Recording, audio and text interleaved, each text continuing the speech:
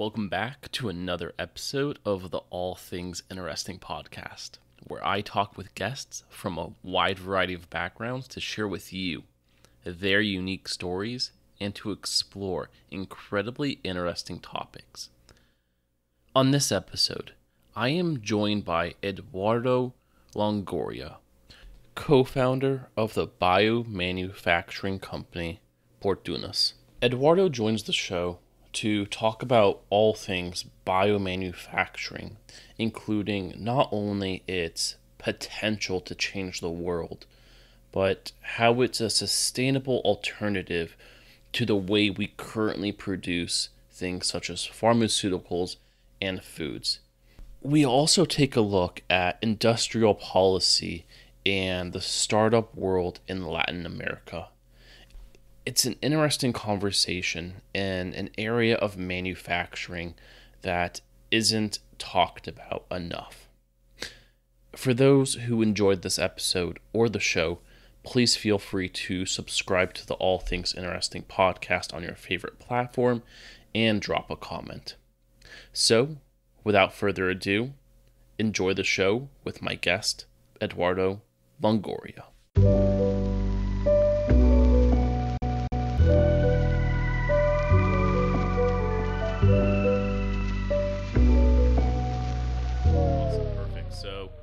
Just kicking things off here, Eduardo. First off, welcome to the show. Really glad to have you here. Roshan Terrell, one of my prior guests, recommended you as a future guest on the show. And a lot of individuals he's worked with in the past or knows work in very fascinating fields themselves. Uh, you, nonetheless, working in the field of biomanufacturing. So, again, welcome to the show.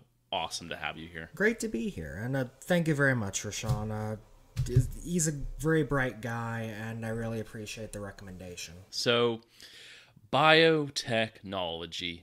I will admit, going into this conversation, that this is a field that truly stumped me because I believe it's more so a recent field than not. And from what I've gathered based on my research, there doesn't seem to be a whole lot of information relative to this field. So I thought it would be best if we started with the very basics of what biomanufacturing is. So I'll start off with my first question here, which is for starters, how would you describe the term biomanufacturing to someone? Uh, well, in most basic terms, it's just using organisms to go from inputs, say sugar or cellulose or uh, perhaps lactic acid, and producing something more valuable through the process done by that organism, so that on the other end you have something more valuable to you. Uh, the thing is, we think biotechnology, we're thinking cloning, we're thinking, you know, something out of uh, Westworld or something out of a sci-fi show.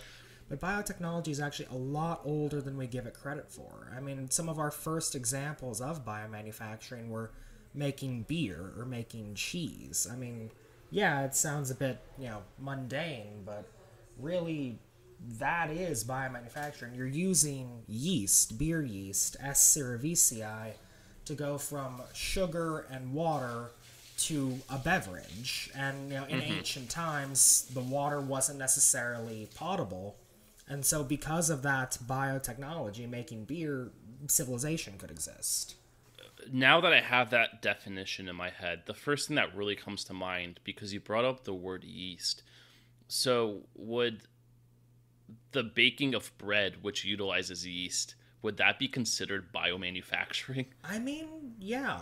If you really want to go to broadest, simplest definitions, yeah, that's biomanufacturing. Okay, wow. So I guess it's something that people use on a daily basis throughout their lives, but it's not a term that's, I guess, widely used. Yeah, I mean, exactly. It's a, it's one of those things that is so common and so pervasive we don't notice it anymore and the term is really only used when it's to the very impressive things. We use the yeah. term biomanufacturing like when we're making medications, but it does still mm-hmm. apply for the super simple stuff. I think, and correct me if I'm wrong, but like some of the applications I could see relevant or related to biomanufacturing would be using algae to clean oil spills. Correct me if I'm wrong on that, or even the creation of alternative foods such as Beyond Meat, where they just synthesize um, a lot of biomaterials or organic materials into a substance that is almost like uh, a hamburger, for example. Yes, uh, bioprinting actually, you know, the production of cells in an organized format using biotechnology. That is a good example of you know trying to produce meat just from the cells. Uh, I'm not that familiar with uh, Beyond Meat. I believe it's a vegan alternative. So I assume it would be some sort of biomanufacturing, maybe out of fungi. Uh, but mm-hmm. again, I, am not very familiar with their business model. Um, yeah, I'm sorry. Am I answering your question? I may have yeah, I, I, would say you are. I was just I was relating the definition you provided of biomanufacturing to, I guess, some of the applications that I see around the news these days in the technology area of algae being used to clean oil spills or meat substitutes being created, things like that, which we see naturally um, in the news, but we don't necessarily associate with the term biomanufacturing. We just see them for what they are. Yes, and all of that would also apply by the manufacturing of the product that would be used to get rid of the oil spill would be the actual biomanufacturing part. The part where the mm. algae itself is decomposing the oil, that isn't within the purview of biomanufacturing. That is, the thing's been manufactured. It is doing its job now. But the part, mm-hmm. the process of taking that algae and genetically altering it and growing it in large quantities in a bioreactor, monitoring the quality of it, monitoring how many cells survive, you know, through the process of being genetically altered. All of that is biomanufacturing. The the preparation work that gets you to clean up the oil spill. So what would be the opposite of biomanufacturing? So you have just using the example here of using algae to clean oil spills you were talking about uh, modifying the algae and testing it to see if it survives and if it cleans up the oil spills. But that aside, what would be a different method for cleaning oil spills that isn't biomanufacturing, just so people kind of have that perspective? Uh, well, so some traditional ways to clean up oil spills, uh, you could use mechanical methods. So that's just using a skimmer and cleaning it off the top of the water. Um, you could, you know, use a shovel if it's you know, on the ground and actually just scoop the earth up. Um, if you're not using any sort of biotechnology method to go after the oil spill, but you still want to go after it on a chemical level, you would likely have to synthesize a kind of chemical that would act as an emulsifier for the oil and make it so that it could you know dissolve into water and perhaps be washed away into a container somewhere.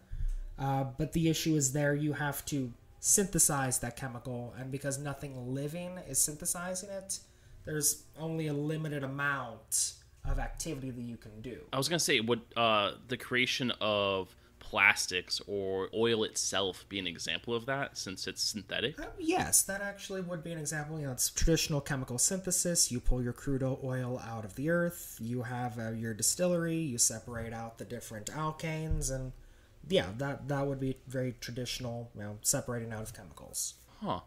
So that said, what would kind of be the advantages of using biomaterials to manufacture these processes as opposed to traditional methods?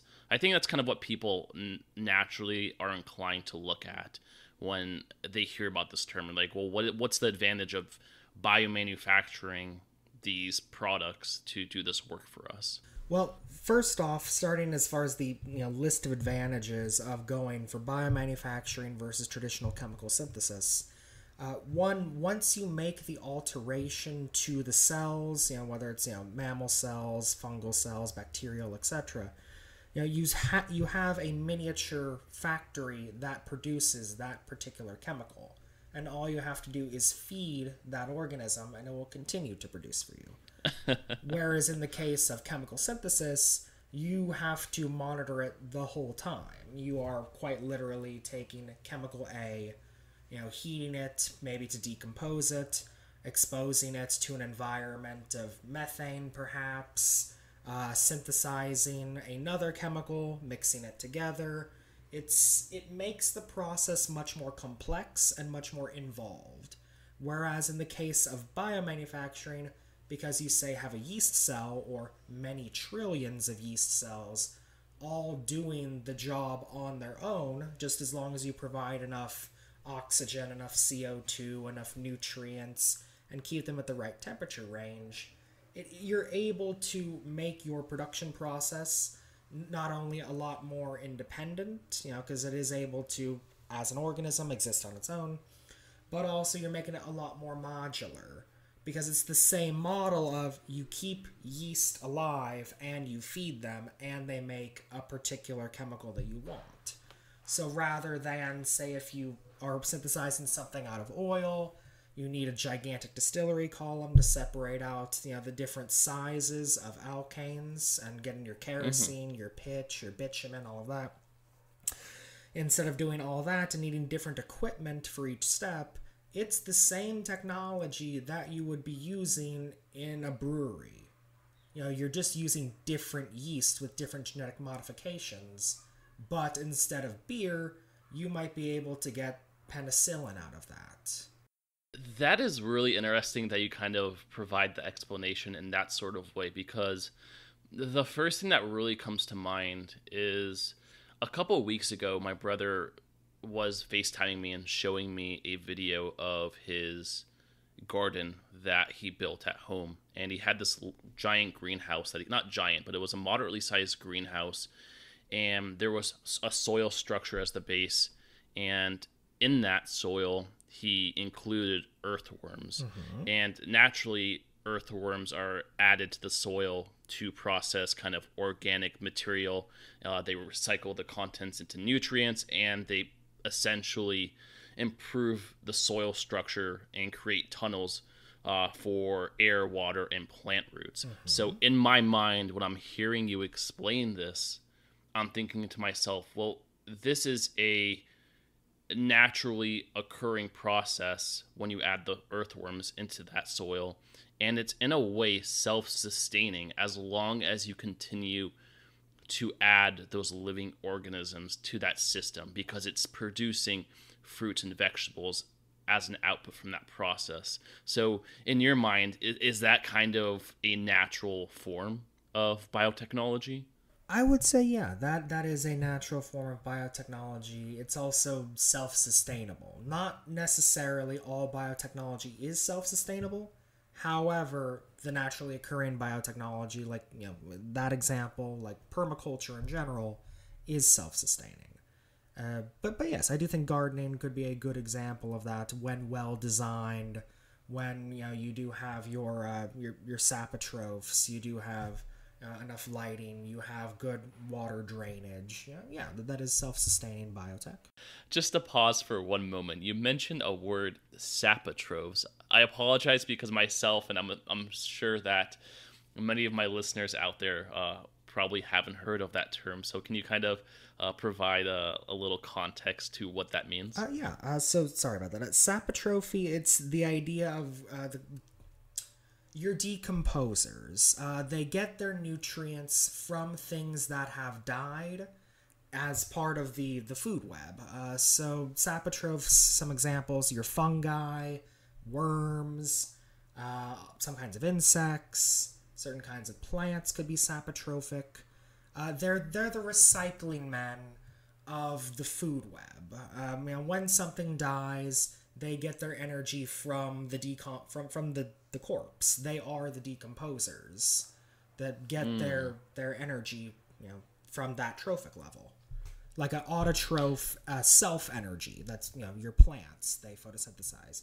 Heterotroph other energy. So that's us. We get our energy from eating other things.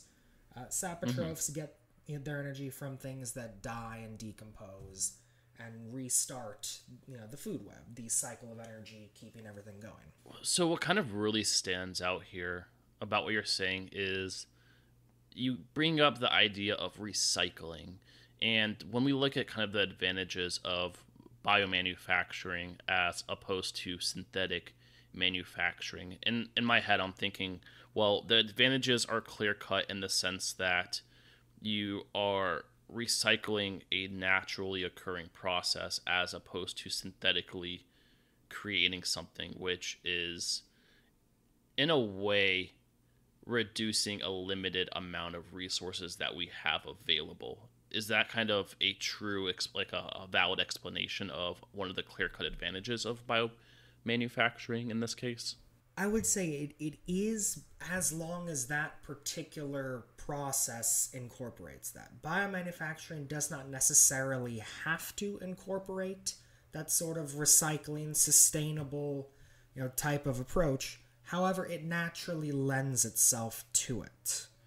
Uh, so I just want to be very clear. Yes, biomanufacturing can do that, but just because something is biomanufacturing does not mean it does.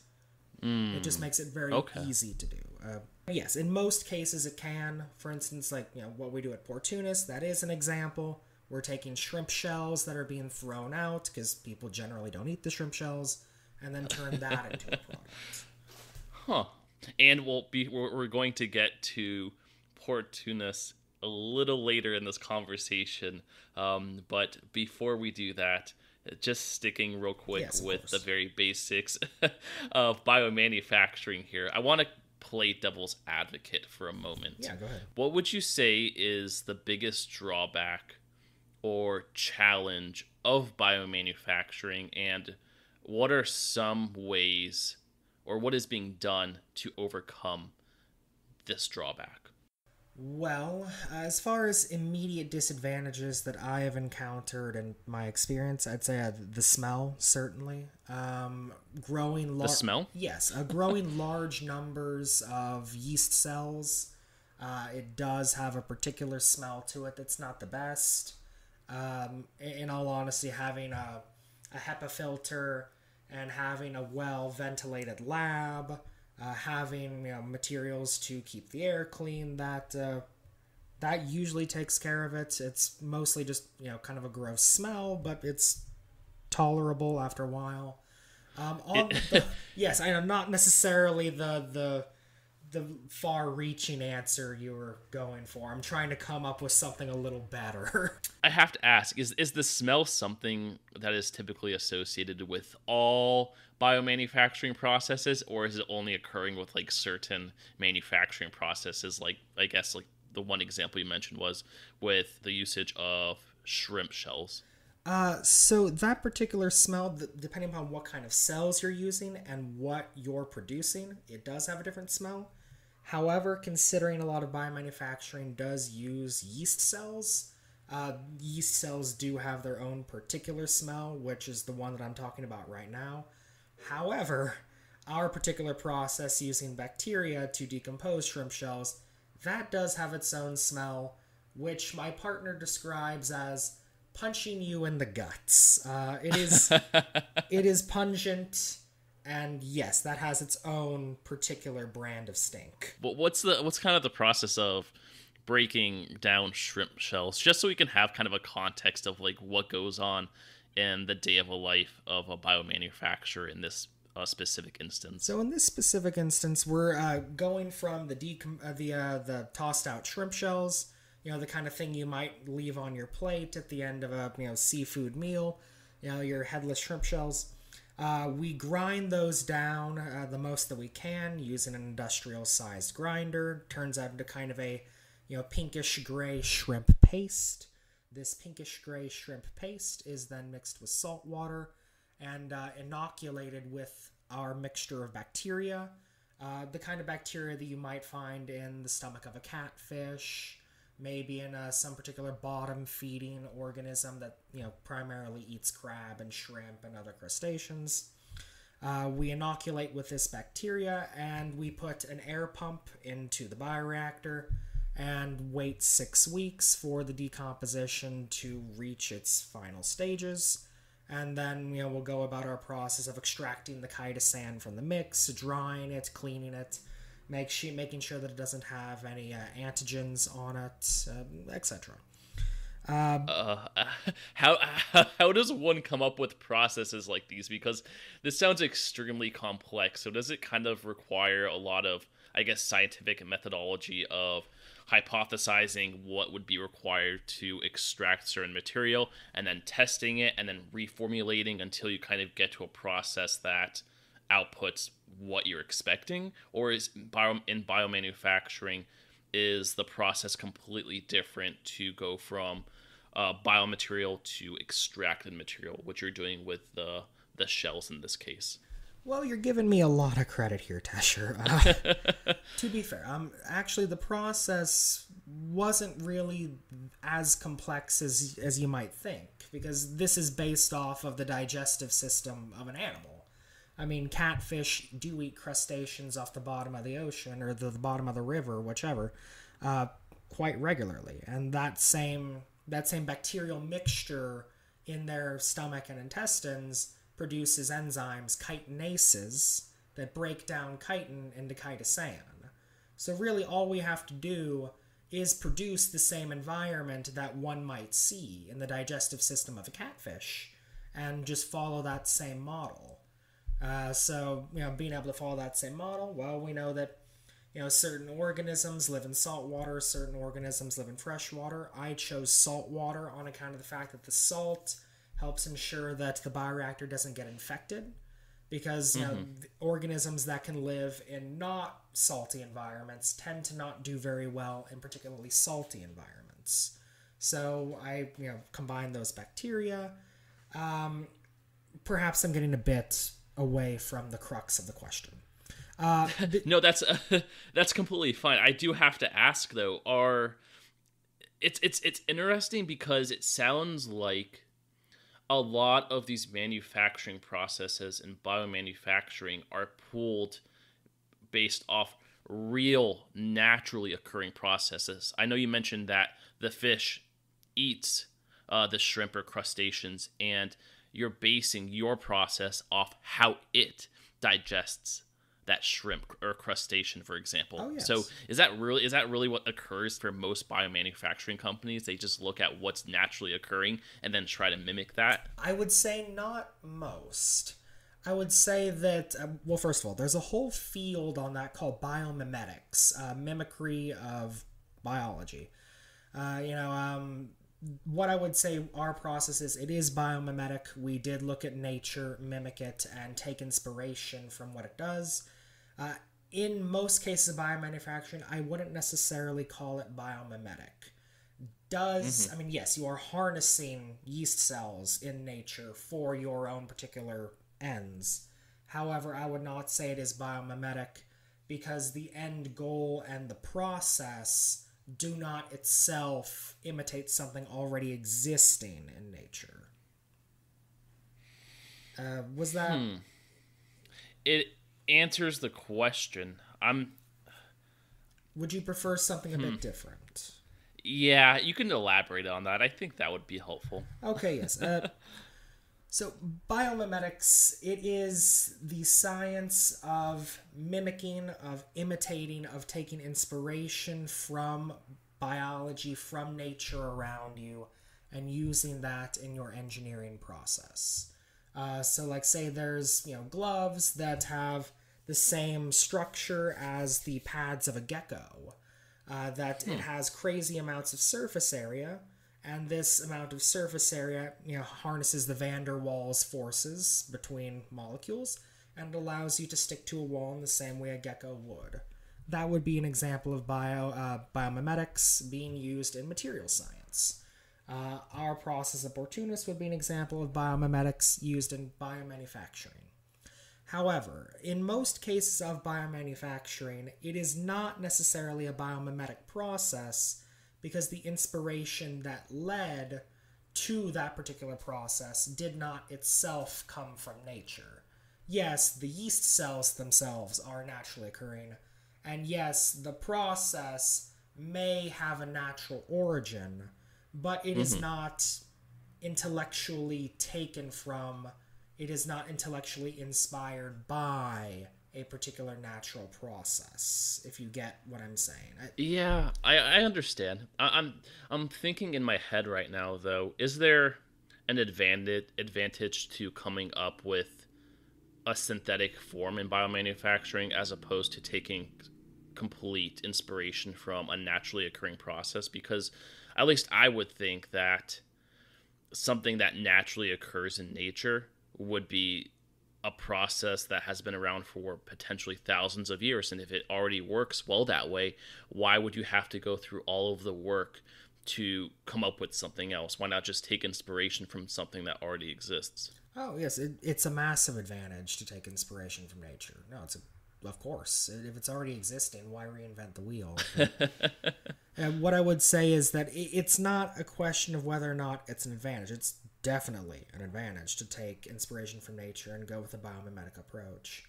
I think it's just that industry has its own culture already existing.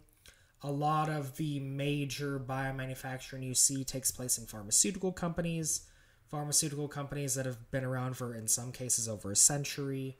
Uh, changing mm-hmm. of corporate culture does take quite a bit of, of effort, and it, there's a lot of inertia involved in it. Uh, yes, companies like Bayer are doing you know biomimetically inspired processes, but it's not pervasive as I would say it is in smaller, more startup-y type companies. But I would think that's mostly just because of corporate inertia as well as that there is uh, already a lot of products that use the chemical synthesis method. And when you are someone like Pfizer or Bayer, uh, the board doesn't necessarily care that much. But again, I, I, don't sit on the board of either Pfizer or Bayer, so I can't pretend to be an authority on that. Right. One of the examples you just brought up, and I just I like providing context to my guests here in terms of applications. But you you mentioned pharmaceuticals, and I guess one of the most well known pharmaceutical drugs is penicillin. Mm-hmm. And I believe that comes from the processing of, and correct me if I'm wrong on this, I believe it's mold. Uh-huh. Uh, wouldn't wouldn't that be a, a popular example of biomanufacturing in this case? Uh, yeah, that that actually would be a popular example of biomanufacturing. Uh, Ian Fleming, I believe, ended up finding one of his uh, agar plates covered in mold at one point because he went on vacation, and the bacterial colonies that were on that uh, particular agar plate ended up dying off uh, the closer they were to this particular uh, mold that had gotten on the plate and noticed that well well the closer these colonies are to the plate the more likely they were to die. Let me take a sample of this particular mold and you know see why does it keep doing what it's doing, and then he did isolate penicillin from that particular mold.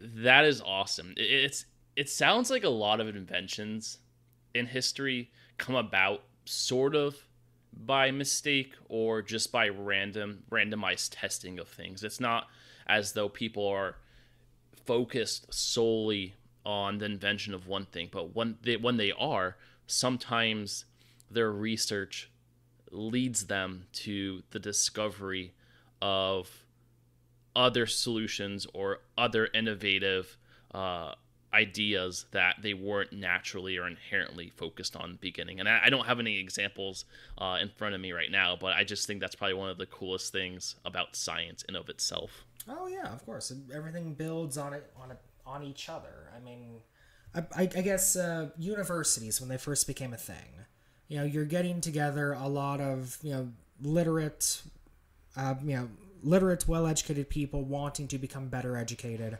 And so they exchange information and everyone becomes smarter as a result. I mean I, i'd argue the internet is that same concept. You are gathering together ideas from people everywhere and depending upon how much of it's cat videos uh, you know you might end up getting information you never could have before. And as a result, you know, one good idea begets another, and we all build on each other. And that's the value of cooperation. Mm-hmm.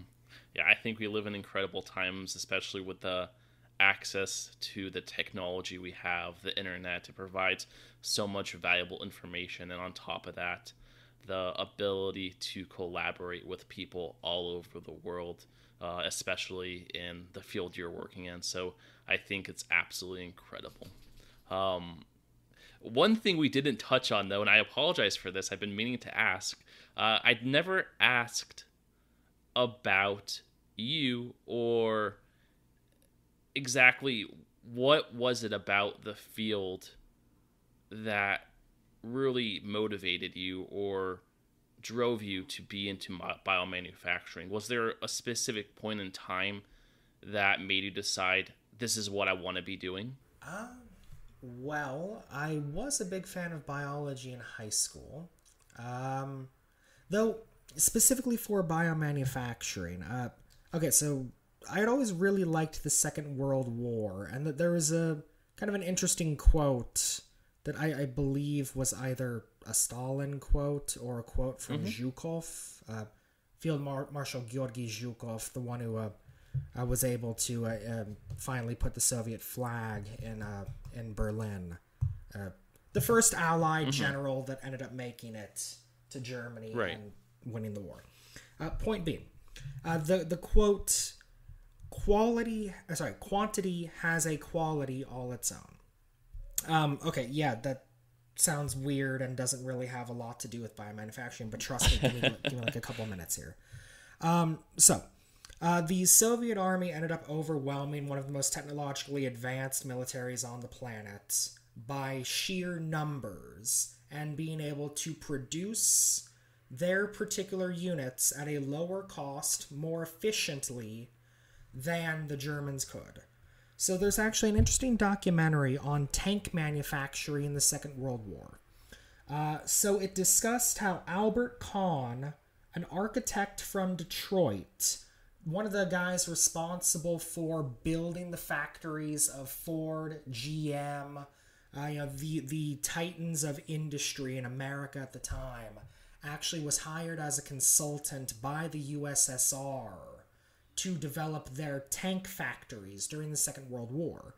Because uh, when the Germans invaded Soviet territory, because Blitzkrieg was as it was, German lightning war, they're moving at such a pace. The Soviets actually had to move their factories, their whole industrial capacity into the Russian east so that it'd be safe from you know German bombs. Uh, and Albert Kahn was part of this whole process and actually was one of the individuals that came up with planned obsolescence. And during the Second World War, uh, a lot of the fields of statistics that are used today to estimate product life, to estimate product efficacy, to be able to really optimize production came out of this. Uh, so in this case, they did an analysis on the Soviet T 34 tank that after it rolled off the assembly line, it had an average lifespan of six months. And so from that information, they decided, well, how well do we need to design the tolerances of the gearbox, of the turret, of all of these moving parts so that it'll last six months and no longer? so that they wouldn't devote more energy, more time, more intellectual capacity of their engineers than they needed to to produce that particular product. Here's why that's relevant.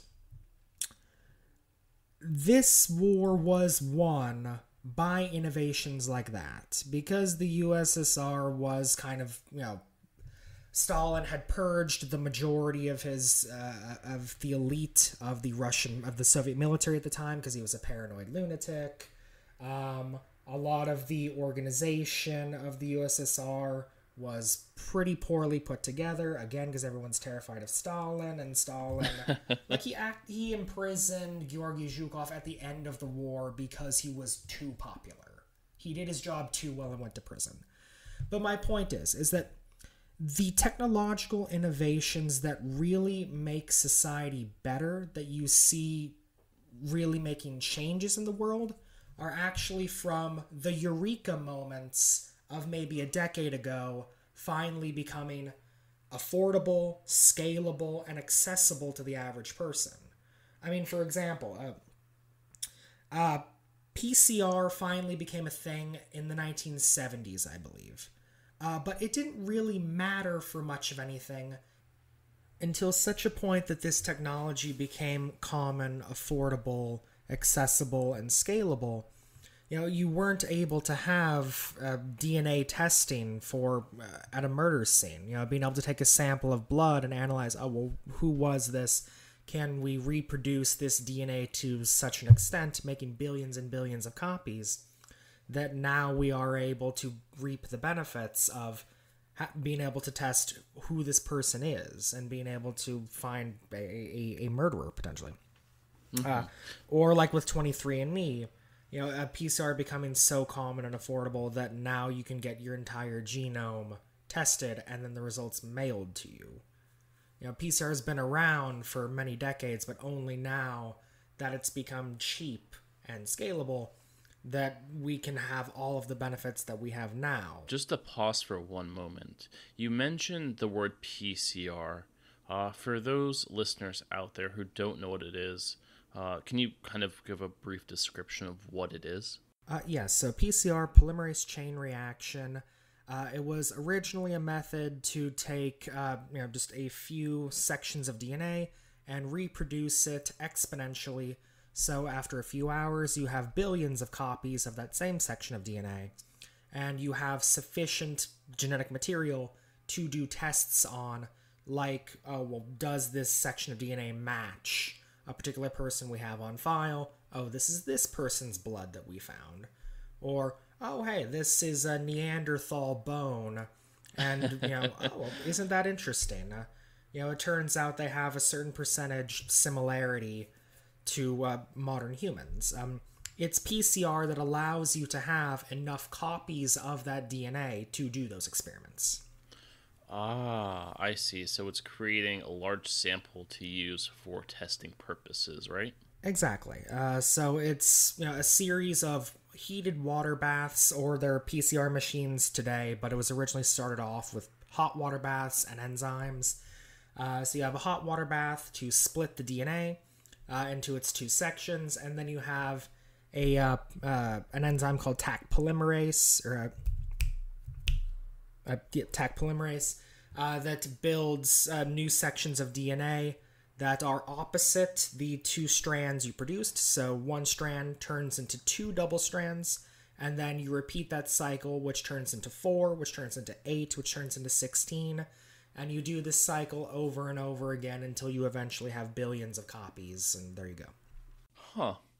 So we went from in the, in this story, we went from Stalin all the way to innovation and kind of that eureka moment of the transition from things being somewhat used to them becoming more affordable and more scalable to the point where we could mass produce them. So, at the end of the day, how would you say this really drove you or motivated you to kind of pursue this field behind that story?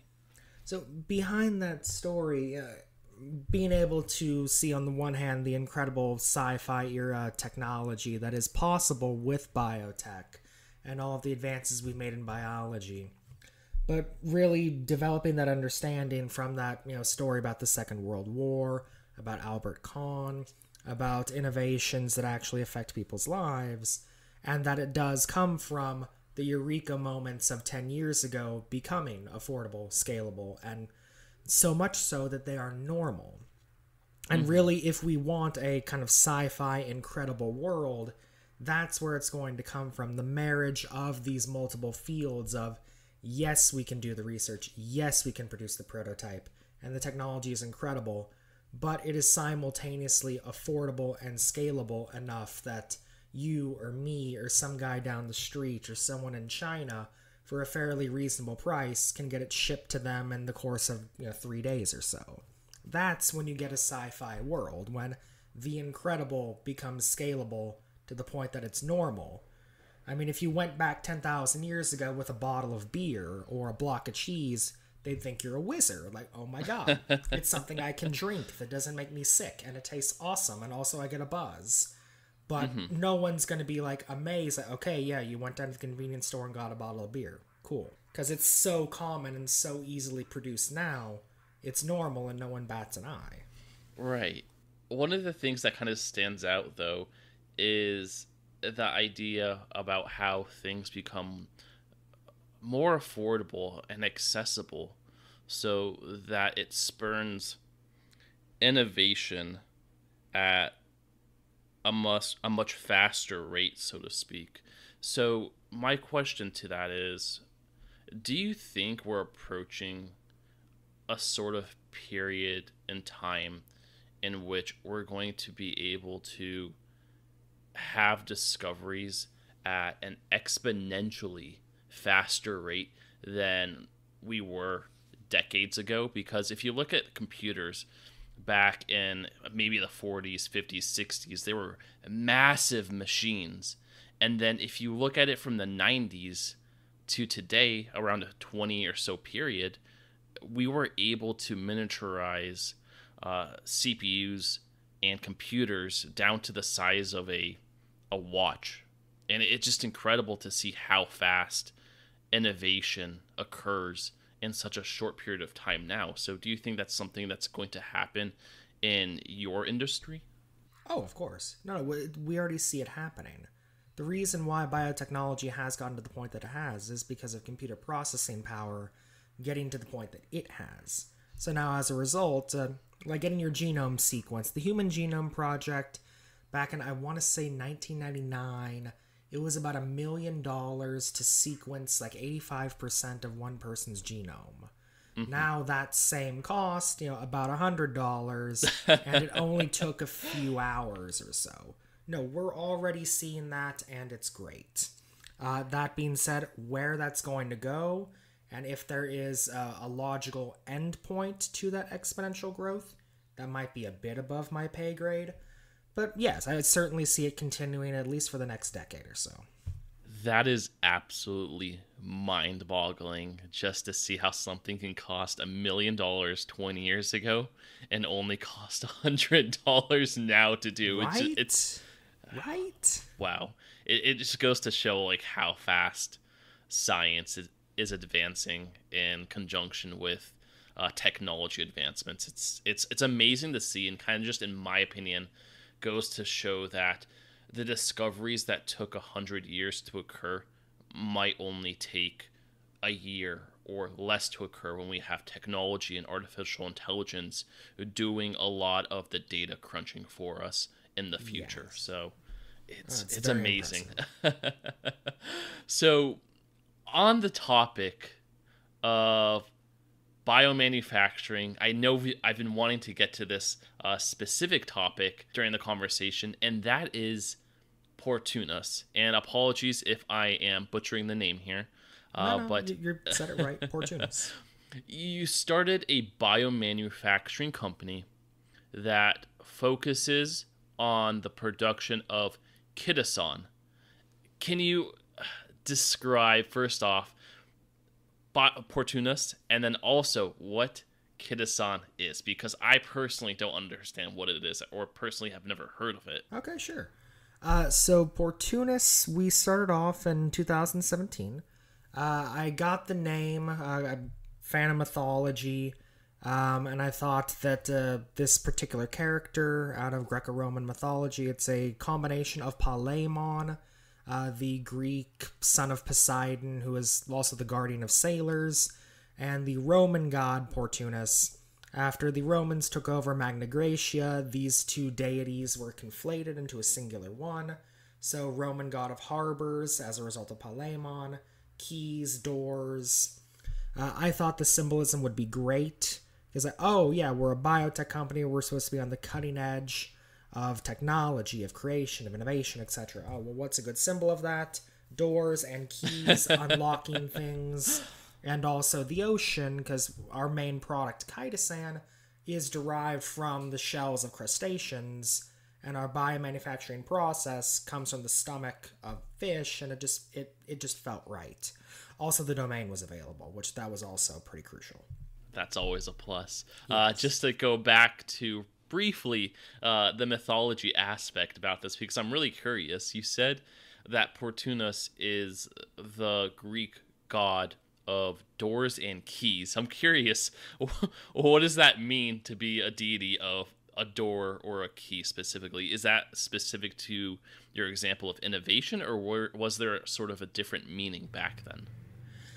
Well, granted, I admit I don't know quite everything about Roman mythology, but what I would say is that being the god of keys and doors likely means, you know, god of opportunity. From what I understand, there was a minor festival, Portunalia, where they would toss keys into uh, some sort of ritual fire, I believe.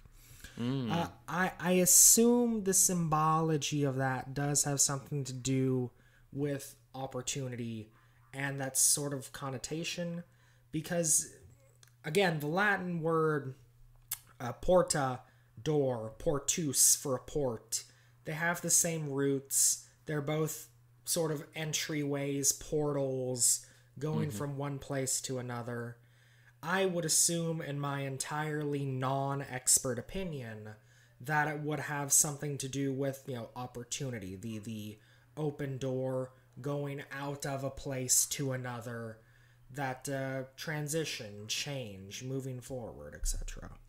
Hmm, I like the name. It's it's very suitable and fitting for what your company does uh, relative to manufacturing of kitasan or kitasan. Uh, Kitasan. Kitasan. Okay. Uh, I am butchering the name left and right right now.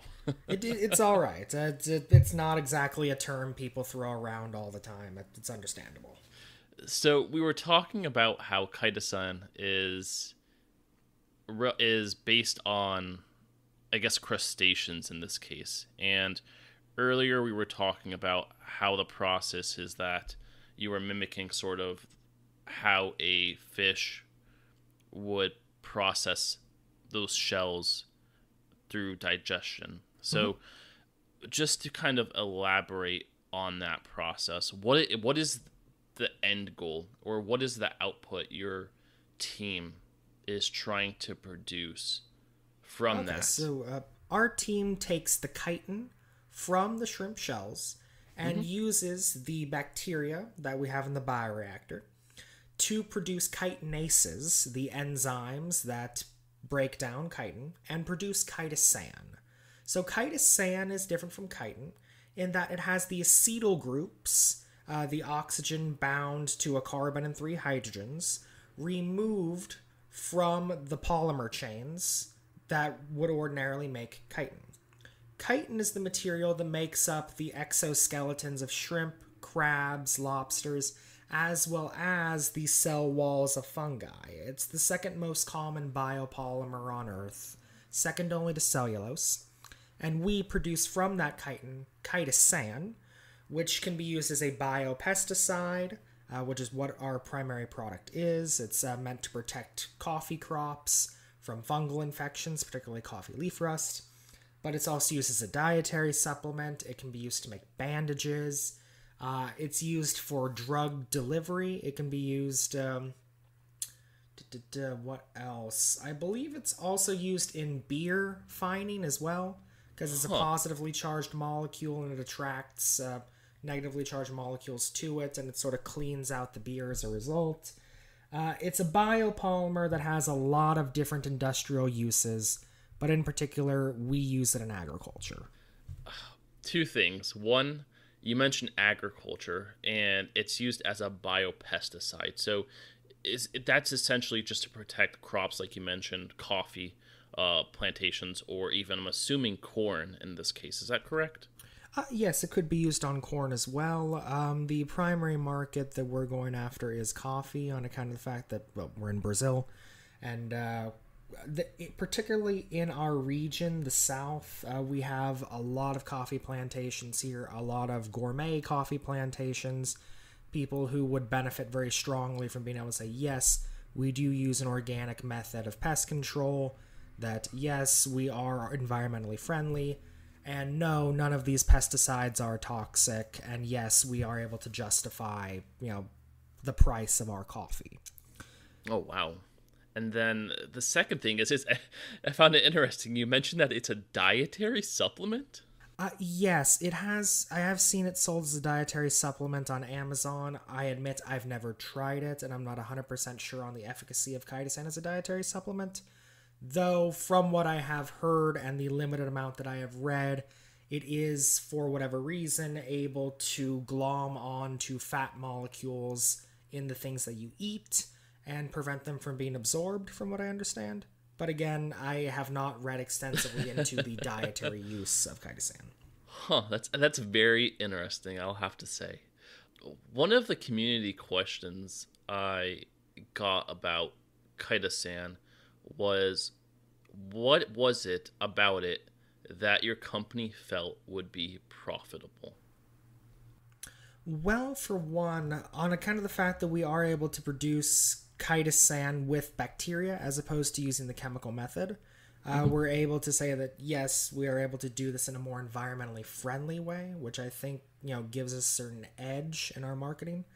Additionally, because chitosan is already a product that has been tested, people do use it, though to a relatively limited extent.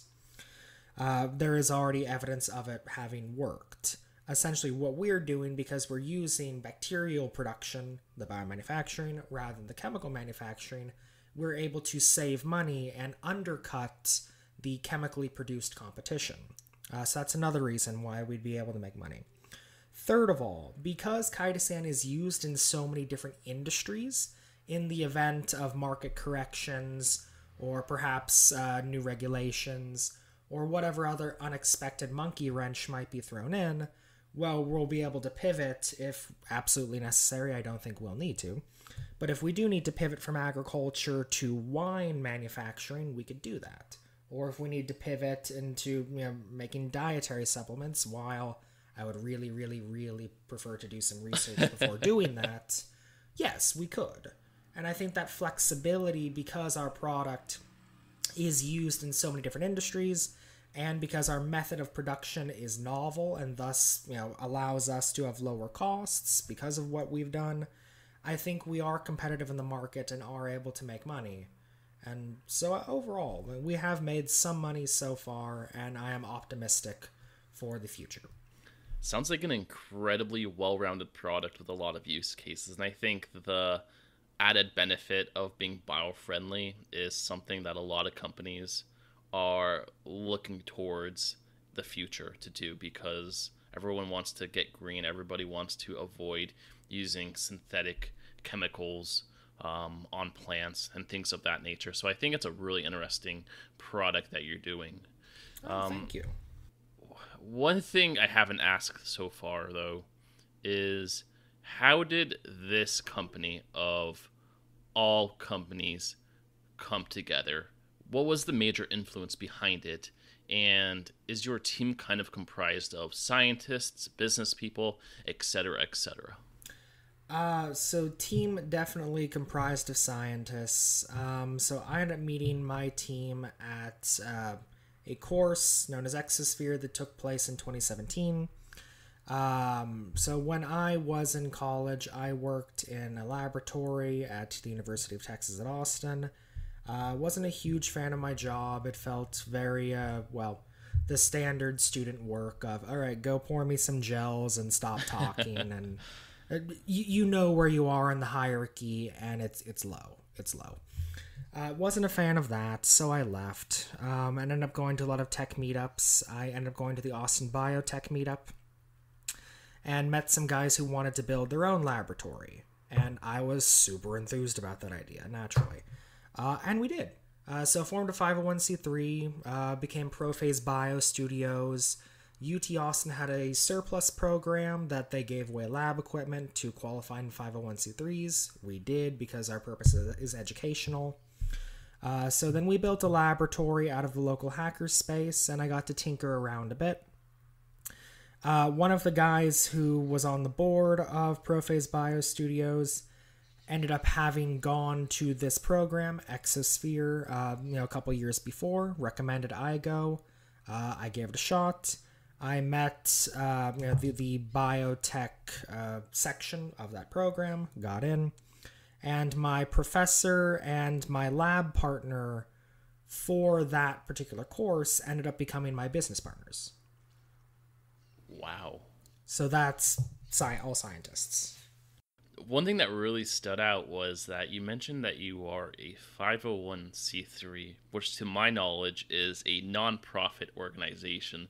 So, is that kind of how your team went about acquiring all the necessary equipment or funding for your manufacturing? Because I can imagine, and I could be wrong, but I can imagine that equipment for manufacturing uh, especially in that space, would be incredibly expensive to acquire. So, is that really kind of uh, a, a, way to go about getting that equipment? Just being a nonprofit, really?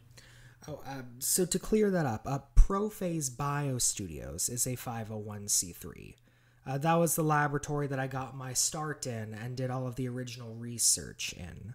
Uh, however, Portunus is not a 501c3 we mm. are hmm. registered as a C Corp in Texas, and uh, we are also a for profit company in Brazil as well. Uh, just to be very clear about that. Um, no, two separate entities. However, um, the amount of money saved by Prophase Biostudios by me being a member there and doing the initial year and a half of R and D at that 501c3 helped immensely no no community bio biology labs biohacker spaces. They do have a lot of benefits. I'm very glad that i was able to be a member of prophase bio studios because it helped me so much because i could not have paid for all that equipment on my own. That is that is very true.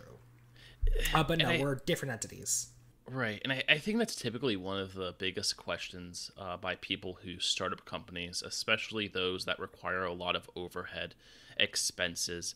And it's kind of to the tune of, well, how do people typically just acquire the resources or funding to start up these ventures? Because one would imagine it's very complicated or difficult to get VC funding to build a business when you're starting from scratch. So it's very impressive how Portunus started out of out of a lab and then built itself or scaled into a very impressive company that manufactures chitosan or pulls chitosan uh, for manufacturing purposes. I, I, find that very interesting how you your team was able to do that really. So, uh, first of all, with Prophase Bio Studios, that was a huge portion of the early development. Being able to do R and D out of that lab was immensely helpful, and saved a crazy amount of money in the long term. Additionally, uh, a good part of our funding came from personal savings, which thankfully, because of the exchange rate, actually did favor us when we ended up moving to Brazil. So that's one thing that was helpful. Uh, third of all, uh, the environment in Brazil as regards funding, uh, there really aren't as, it's not as perhaps generous or perhaps active a VC environment uh, as you might have in the United States. A good deal of the funding, resources, etc., for uh, innovation, particularly in biotechnology, is actually government backed, especially oh, wow. the southern states Paraná, Santa Catarina, and Rio Grande do Sul have very generous innovation programs that you know they have editals and you apply for them and you get grants as companies, as individuals, as nonprofits. Everyone can apply. And that is immensely helpful. Uh, just how enthusiastic the government is here about supporting innovation. Uh, so that's one thing. However, I will say there is an interesting project that has been helpful for Portunus as well, uh, out in the west of Paraná, about 700 kilometers west of us, uh, called the Biopark. So there is a company, Prati-Donaduzzi. They are the largest all Brazilian owned biotech company in this country. They produce generic drugs for SUS, uh, the Universal Health System of Brazil. Uh, so they they multi-billion dollar company supplying the universal health system I, am sure you can imagine uh, so their owner uh, they're a family-run company interestingly enough uh, their uh, owner Luiz Donaduzzi wanted to build an innovation park and so bought the area around his hometown, a little town called Toledo.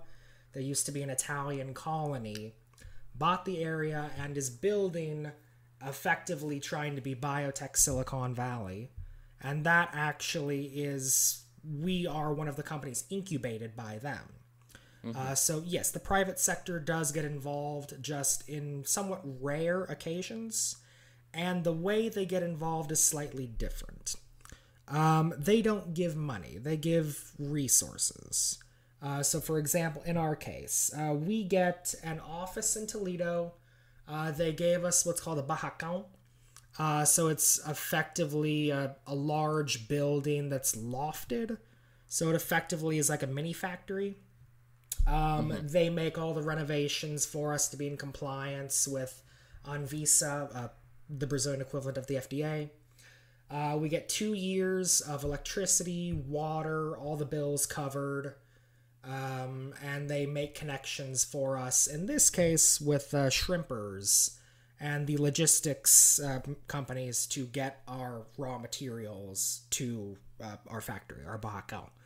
Mm-hmm. Um, so yes, while private sector investment does exist, it's less common, I think, than it is in the U.S., and it takes a different form. Uh, people are much more willing to give resources uh, than they are to give money in hand. Uh, that being said, still very, very thankful for it, and in some ways, it does actually help more than the money because it also saves us the legwork of finding, you know, people to provide us with shrimp shells. I think that's really cool uh, because being able to have those resources on hand and have uh, the materials available to you uh, really does help with a lot of the legwork. And I noticed that you have offices in the US out of Texas and you have an office out of Brazil. And then you mentioned two different forms of funding. Uh, one would be VC funding, and the other would be uh, the sort of funding that is provided by the government down in Brazil. Uh, based on your experiences, uh, what would you say has kind of been more beneficial, or what would you say is more beneficial for a startup in this case to kind of have that funding that's provided in Brazil, or the type of funding that you would typically see in the US through VCs?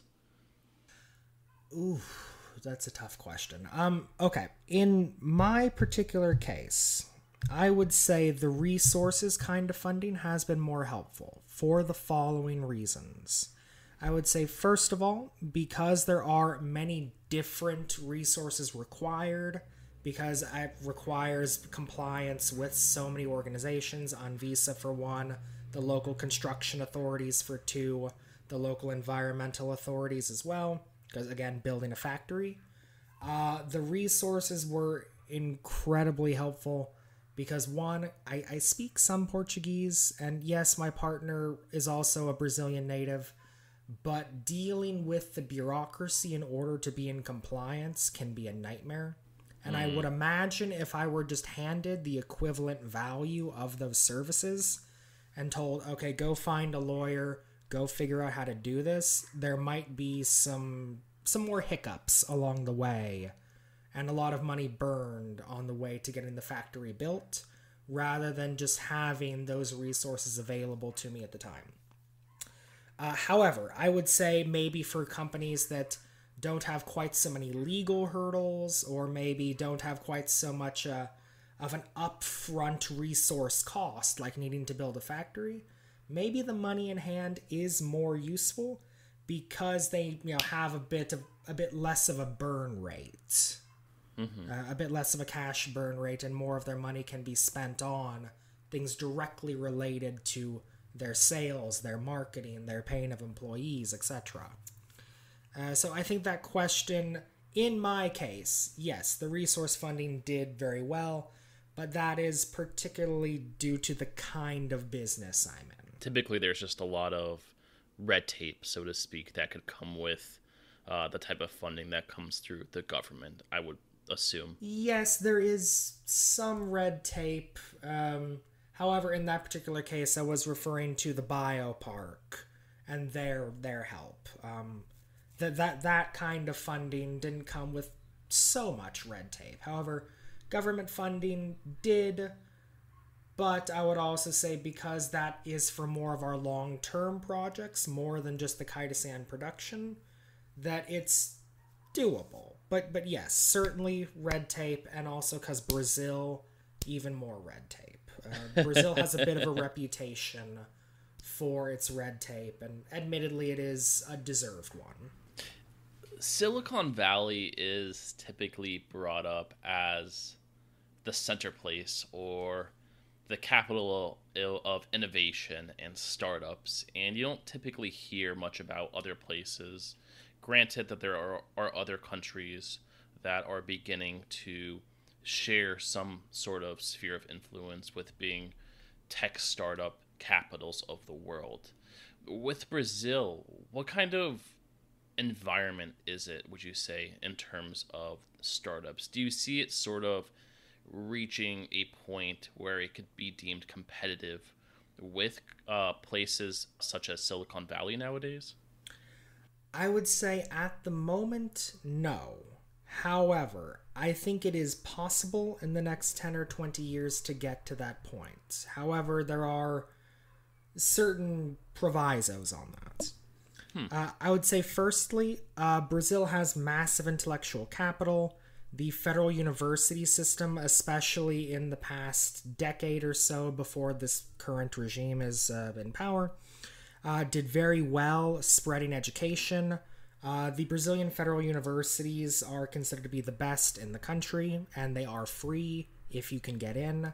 And that's the crux of it. If you are qualified, if you are genuinely bright, school is free. Mm-hmm. And so you are able to get people who otherwise would not be able to afford private school because naturally very expensive. You're able to get them educated once they've proven they are qualified for that. Uh, mm. The issue is is that because uh, of the particular economic environment of Brazil, uh, because also for a very long time, again up until the current regime, uh, the uh, federal university system has been immensely generous, uh, very well funded. professors with tenure, very well paid. Everyone's happy at the federal university you have some of the brightest minds of Brazil thinking, okay, yes, I would like to start a business, but damn, is my salary good? And also, I have damn good health insurance. Like, ah, okay, maybe next year. And then you think, like, ah, maybe five years from now. Okay, you know what? This professorship is pretty good. I'll just stick here. And mm-hmm. you end up it's sort of the golden issue. handcuffs.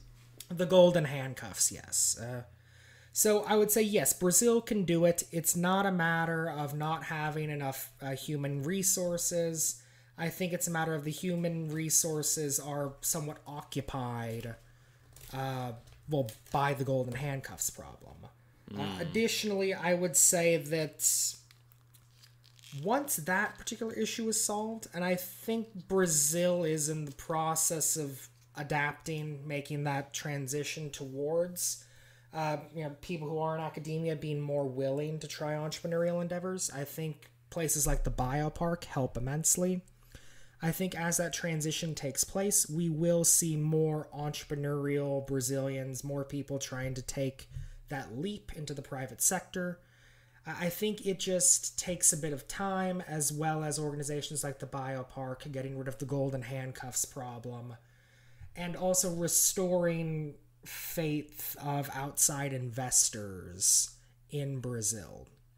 Uh, there are concerns regarding, uh, again, the current regime and uh, less faith from outside investors in investing in Brazil. Uh, for example, the value of the real, the Brazilian currency, when I first arrived here in 2019, it was approximately a 1 to 3 ratio with the dollar.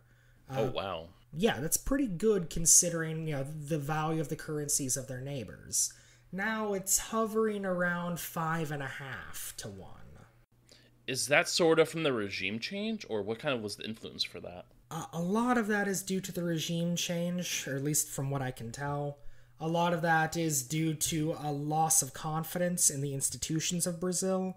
Uh, because the current regime has somewhat stacked those institutions with well, I don't want to say cronies, but uh, individuals to whom he has a somewhat close and non professional relationship, uh, which does reduce the faith of outside investors in the potential of a country to actually act as a country and not a sort of cronyist organization.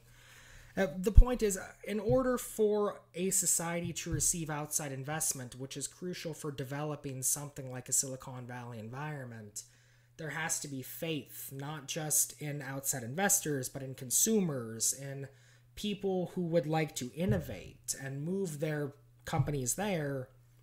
You know, faith on their on their half, on their part, that the government will honor its agreements, will be stable, will be uh, supporting innovation, that it will be a good place to work and live.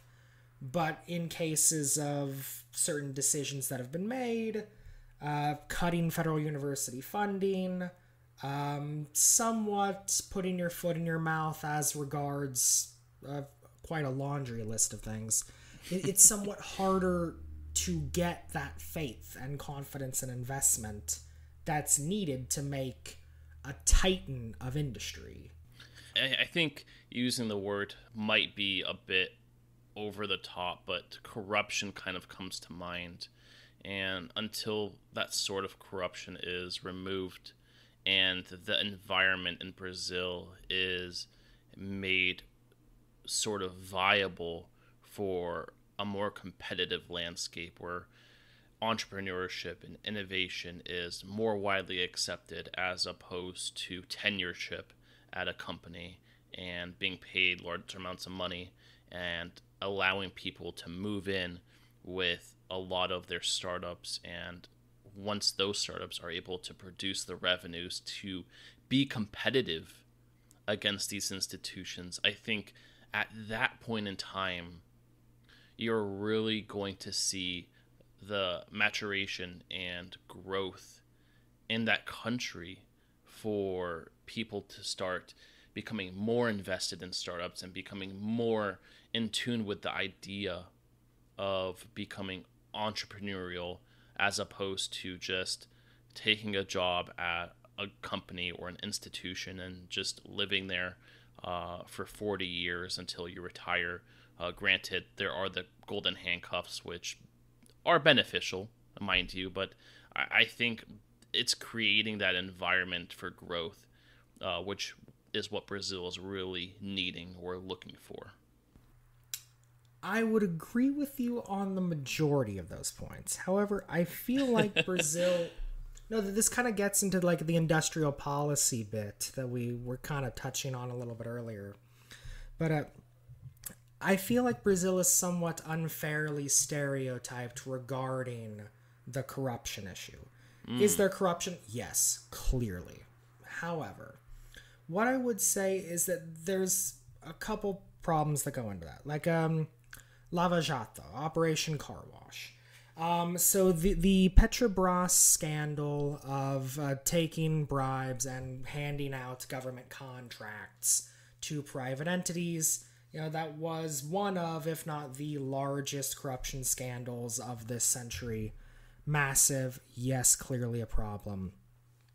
However, what I would say is that it's not specifically a Brazil issue and I think it's also due to the fact that the Brazilian definition of corruption is somewhat stricter than it is in many other places. Uh, for instance, we have lobbying in the United States. Um, lobbying, that's just corruption here.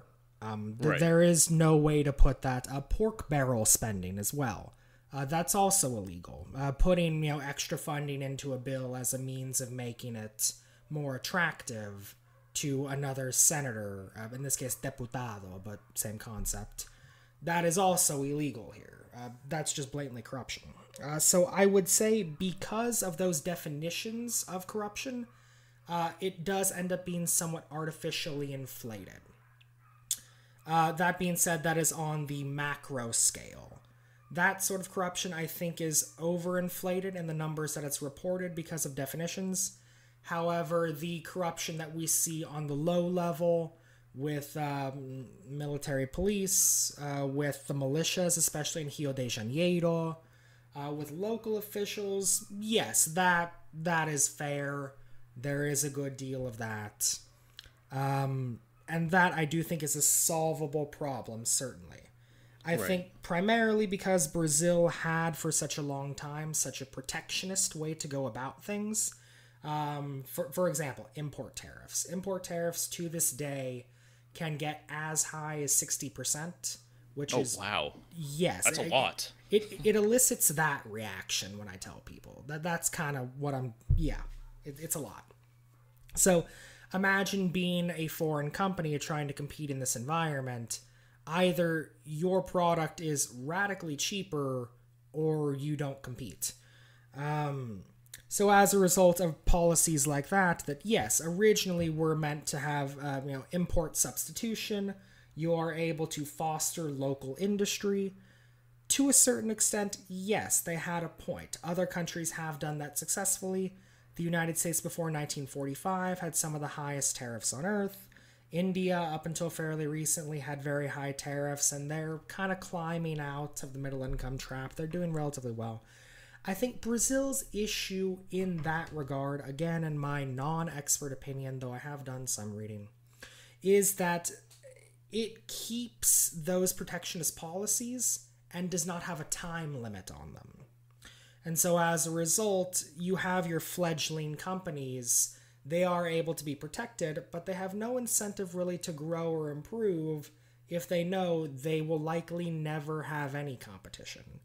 But say if you put a timeline on it, maybe only five years or so, then they would likely have competition later on and thus have incentive to improve and get better and be generally competitive. For example, there is a company Positivo that produces computers here in Paraná.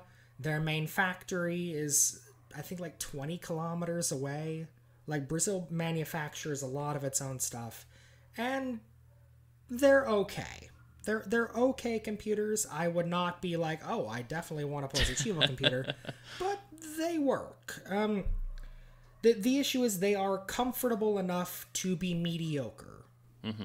Uh, but unfortunately, you know, if I have the opportunity, I'm gonna get a different computer, and that's actually a major business. Up until you know fairly recently, it was common for a lot of Brazilians to go to Miami or other you know duty free places in the U.S.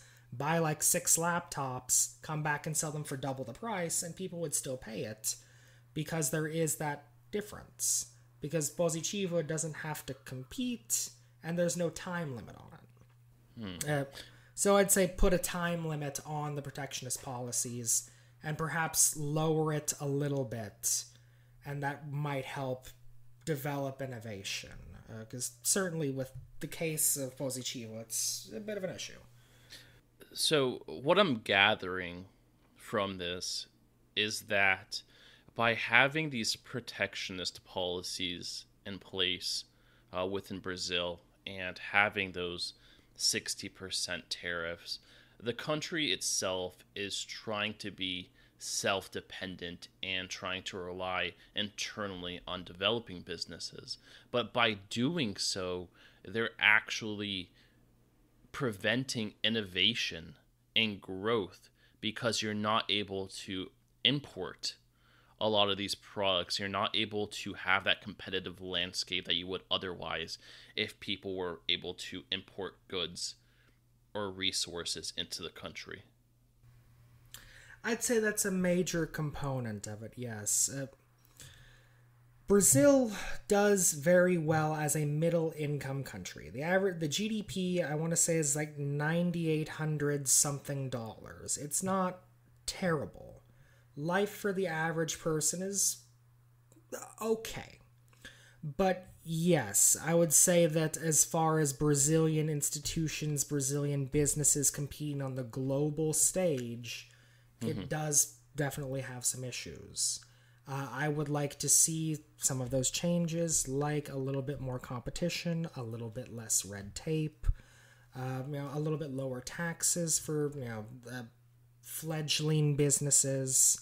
I think that would overall be helpful for the development of Brazilian institutions. I think I would like to see companies like Prati-Donaduzzi compete outside of Brazil. They do sell some of their products to Argentina, to Uruguay, to the other Mercosur countries.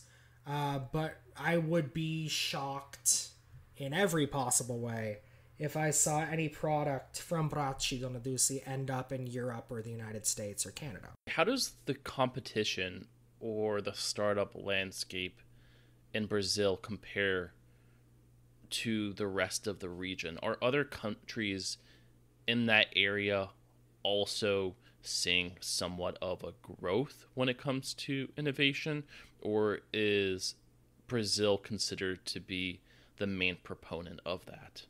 Uh, Brazil, I wouldn't say it's the main proponent of it, but it's certainly chief chief amongst the few.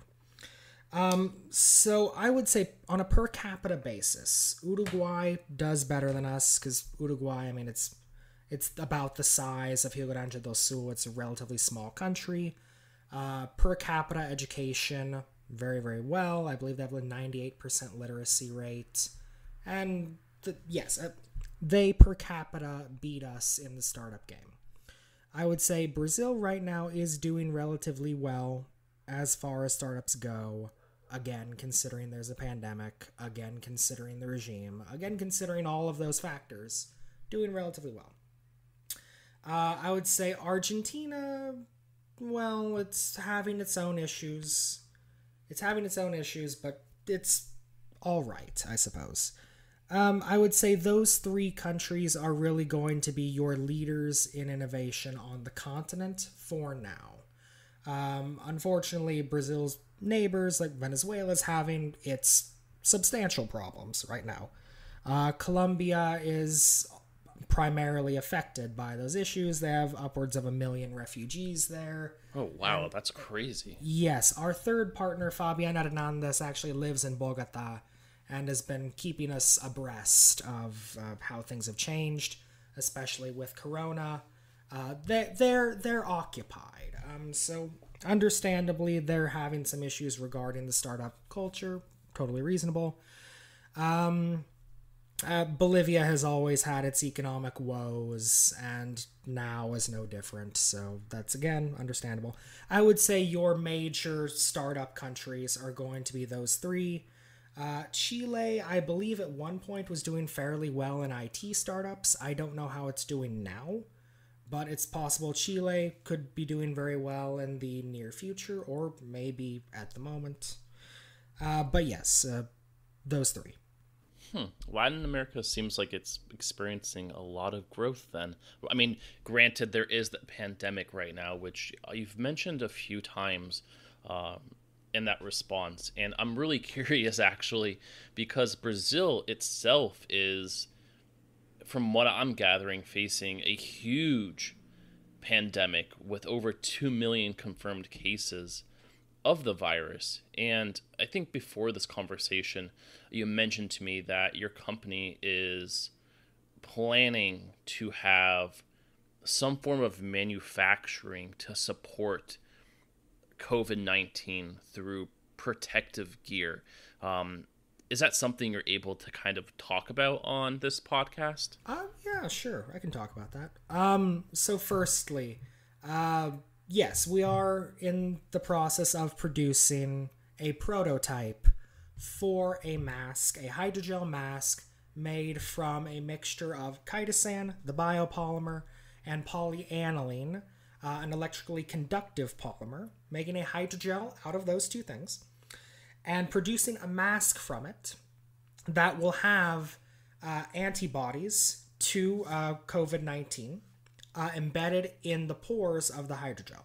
The idea in this case being that the antigens from the virus, say in the event of someone sneezing and it getting on your mask, uh, will interact with the antibodies in the mask and that will end up having a chemical reaction, uh, an amperometric chemical reaction, which will end up changing the amount of amps that the uh, conductive polymer, PANI, is able to conduct. And that will induce uh, the electronics that we would like to embed in this mask uh, to be able to log date, time, and location and send that information to your phone. The idea in this case being that we are able to make a wearable that is able to protect you from the virus as well as let you know when you have been exposed and log that information. So if you would like, you would be able to send that information to a particular organization, likely SUS or perhaps Anvisa in Brazil's case. So an epidemiological map could be made, and these large scale infections could be tracked and caught early. Uh, so the idea that that's the idea for the prototype, the mask that we are currently working on. Uh, our primary issue at the moment is actually the development of the hydrogel and making it both mechanically resilient enough to be able to be worn in a mask and not fall apart after a few weeks, and being able to make it for under 20 reais because we don't think anyone's likely going to pay more than 20 reais for a mask. How much would 20 reais be in American dollars? Uh, four bucks, mais menos. That's not that personally just sounds fairly affordable though. Four dollars for a mask because I'm pretty sure in the U.S. with the current pandemic, masks are pretty expensive, like around ten dollars or so per single one. That's really that's decent quality. I'm talking. Oh, maybe wow. I, am gonna look this up. Actually, I'm curious. I could be wrong, but I wonder how much an N95 mask costs in the U.S. I could be completely wrong with this, oh, wow. but uh, let's see. Uh, N95 mask. So I'm looking at it right now, and for a five pack, it's fifteen dollars. So I I did get my numbers a bit wrong on there, but I don't know how protective these masks are because you did mention that the purpose of the mask you're producing is to protect against the virus and it comes to it brings to question if you're de- if you're developing a mask that prevents the virus from getting through it how protective are the current masks that we see being sold by companies? Are they not defensible against COVID 19? Um, well, I would say the majority of masks, their purpose is not to protect you from the virus, but to protect other people from you if you have the virus. The idea being that, in all likelihood, that because you're spewing liquid out of your nose and mouth, that the mask is tightly woven enough to catch those droplets and prevent mm-hmm. them from moving out of the mask. However, the pore size is much too large to prevent an actual viral particle from leaving your mask. So, say if you were to blow on someone through the mask, yes, the virus will get through because it will be carried on the air currents. However, if someone is sneezing and their, their mucus and saliva is caught in the mask, then that would be preventing the viral particles in the saliva and mucus from getting out of the mask. it's interesting that you mentioned um, sneezes because I'm this is, there's one thing I recall learning in science. I think it was either it might have been in high school, but my professor was talking about how sneezes uh, can travel up to 100 miles per hour, I believe. And you're, you're taking into account thousands of droplets here. So how is it possible that if you sneeze with a mask on that that doesn't get through the mask necessarily? Well, I would say for one the surface tension of the fluid, the mucus and saliva coming out of your mouth and nose, uh, that surface tension helps the droplets stick to the uh, the inside of the mask, to the actual weave of the mask. Uh, but yes, I suppose some of the smaller droplets, depending on how small they would be, may end up breaking up on contact with the mask itself. Mm-hmm. And perhaps smaller particles may be able to get out. That is also possible, I admit. It's not 100% protection. I'm certainly not saying that. and I'm not a scientist by all means. I'm just making a guess based off what I'm I learn or read about. No, no, that's that's a reasonable guess. Another thing that really stuck out about your explanation was its defense mechanism. And I'm curious to know has this been tested thus far? Have you ran studies on the efficacy of the mask you're developing? No, no, we have yet to even make a prototype. It's very early stages. I think nonetheless though it's a, it's an incredibly interesting form of PPE. So if you're able to manufacture a product that I guess kills the virus on contact or at least prevents it from seeping through the mask, that's that would be an incredibly helpful and beneficial uh, form of equipment to have for people and for individuals who are working in the medical field. So it's a brilliant idea if, if it works. That is. Yes, knocking on all of the wood for it to work. exactly. It looks like we are coming up to time, Eduardo. But before we do end the show, uh, I always like to ask my guests five closing questions. So Sure, go ahead. We're just going to go ahead and get started with them here. Given right. your experience, what is the most fascinating development in biomanufacturing that we should expect to see within the next 10 to 20 years?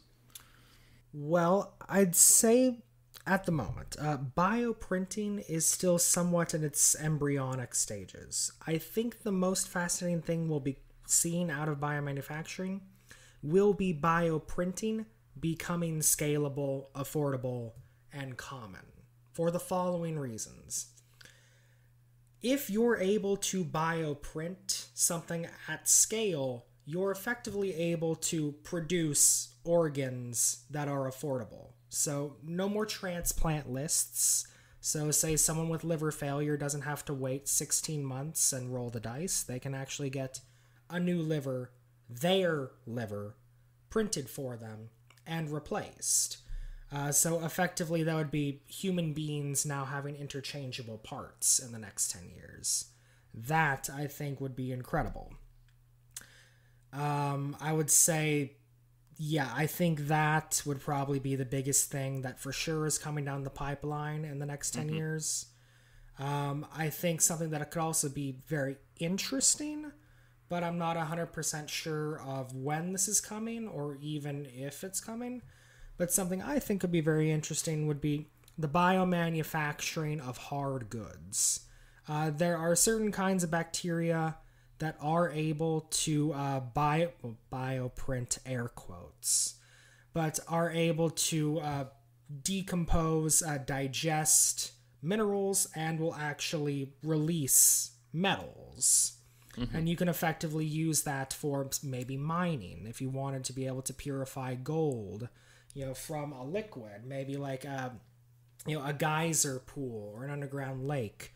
You would be able to send bacteria into that geyser pool, have them consume whatever mineral and poop out the gold, for lack of a better term, coming from that. Uh, I mean, that's just kind of cool not necessarily groundbreaking, but something I find kind of interesting the idea of being able to harness biology for something a bit more unusual. But yes, definitely the bioprinting is the more important one there. Yeah, that sounds absolutely incredible to me, the use cases for that potentially. Right. For someone that is interested in getting into the field of biomanufacturing, what advice would you give to them? Well, I would say studying microbiology probably is a good place to start. Uh, it's probably a good way to see how much do you like biology in general. So before you get into the rest of it, do you like bio? Um, I would say a little bit of stats, not necessarily eat the whole stats book, but at least be familiar with it because that's going to be important for the actual manufacturing side of things the design of experiments as well. Stats goes into that. Uh, I would say maybe a, a little bit of study of business would be helpful just because if you're manufacturing anything at scale you're going to be dealing with you know large sums of money and budgets and accounting. No one likes to find out that they ran out of money halfway through doing a project. So just ha- have that known. Um, and i would say understand some concepts of engineering. You don't necessarily have to be, you know, full on, I'm going to major in mechanical engineering or something, or industrial engineering, or, you know, uh, production engineering. You don't necessarily need that. But at least be familiar with some of those concepts. Uh, Coursera is very helpful. edX is very helpful.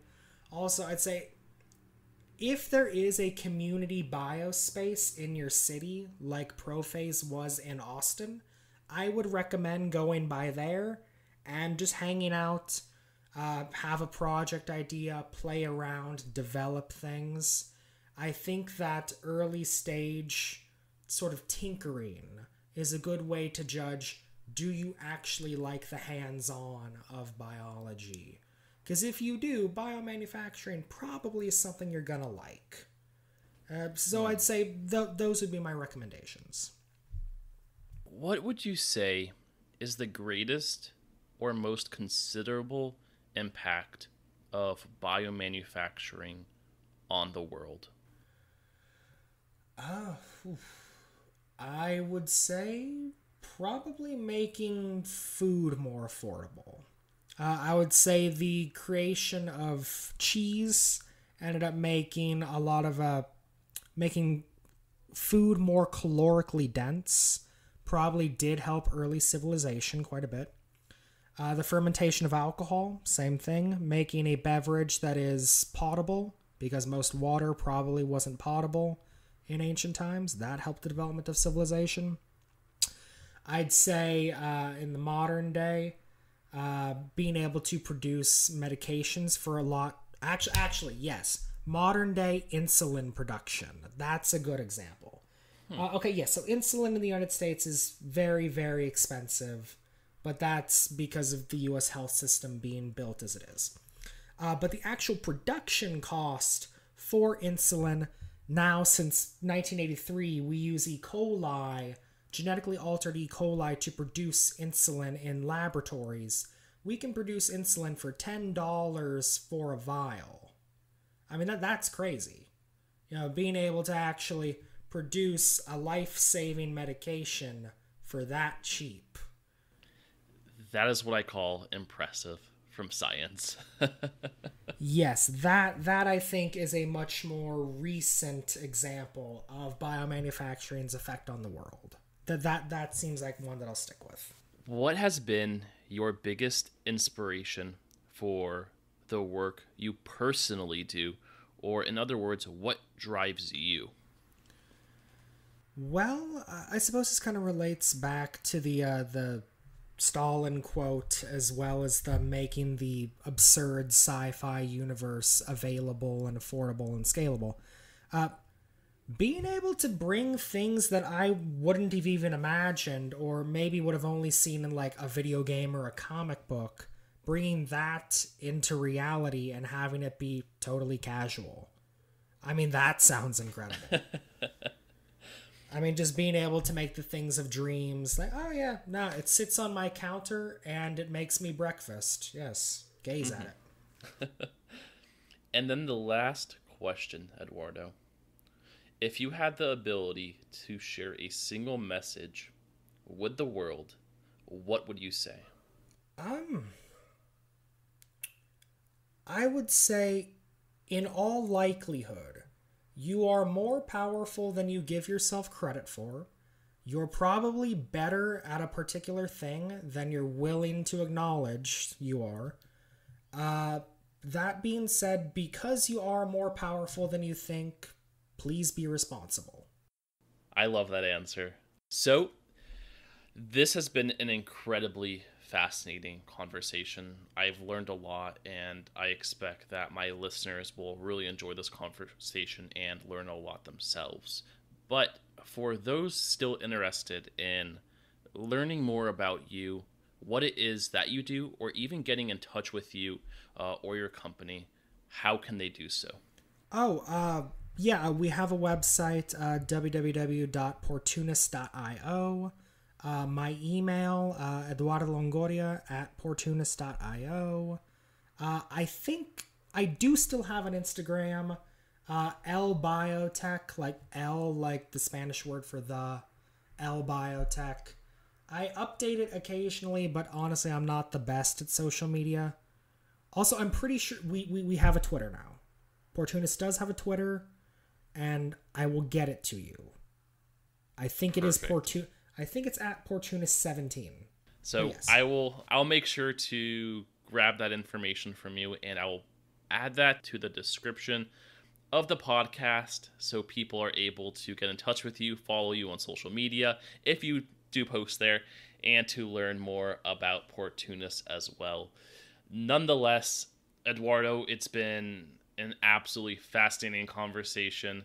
I believe that Roshan is an incre- is an incredible good company uh, with the likes of you, and you have a lot of incredibly interesting thoughts, ideas, and the work you and your company Portunus does is fascinating, and I really hope to see a lot of it come to market. So thank well, you thank again, you very Eduardo. much, Tesher. It's been great talking to you, and thank you very much, Rashawn, for the invite. I, I really appreciate this.